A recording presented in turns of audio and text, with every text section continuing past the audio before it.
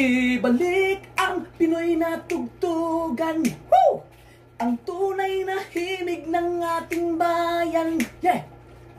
Ikaw ba'y musikero? Iambag ang iyong talento Magkaisa tayong lahat sa awiting Pilipino Unti-unting nilimot ang awiting Pilipino. Halos kinabunan ng tunog ng mga taga-ibayo. Awiting hindi sa atin maganda man pakinggan Pero ang sariling atin huwag naman sana kalimutan sa bansang Pilipinas. May sariling musika na kung saan mga Pinoy Dito'y nagkakaisa. Bagsakan ng mga banda, mga sulat ng Makata Sila'y nagkaisa para sa ating musika. Sayang, wala nang iheds, pati ang River Maya. Buti na lang tuloy pa rin sa tugtugan ng parokya. Kasama ng iba pang malulupit na banda Sila'y nagkaisa para sa ating musika. Tama ng pasiklaban, huwag nang magmagalingan Mga sulat na nilakanay lamang sa isang tugtugan Sariling musika Sapate kape, pagkakabayo, isip sa sabi. Pero grande, siopaw, ampaw, palito na bahaw, hunit na mare. Ay kagrabe yo kalamay, way klaro. Murag mo, nilungag na bato Kahit kaayo, tinda sa gwapo. O pagkukulo, kinila mo naglamaw. Ay galaw-gaw, utan monggos Apil ginamos, malmakuha tinawa. Mais gay raba, pansit na hilaw. Sa kamang labaw, aron dili mao sa tinda na hilaw. Pastilan sa upaw, mulo na maginamag. Sige lako-lako sa suluan gilangaw. Gamay na lungag,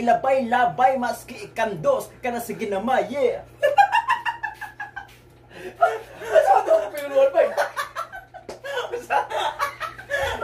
Tatuya na siga puko tumo Natuo nami arariru tumo Tubira suot at kaino umi Tubi komo ino usai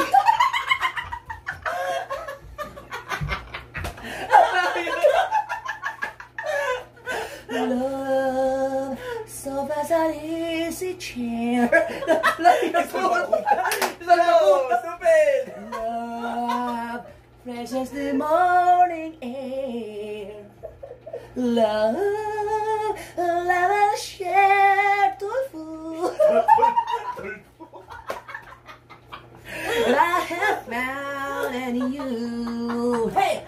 Lahat na lang ng bagay binigay ko sa iyo. Naging sunod-sunuran ako na parang aso. Pag may kasama kang iba, ako'y dinidinay. Basta gwapo ang guide, ako na yun ay kakay.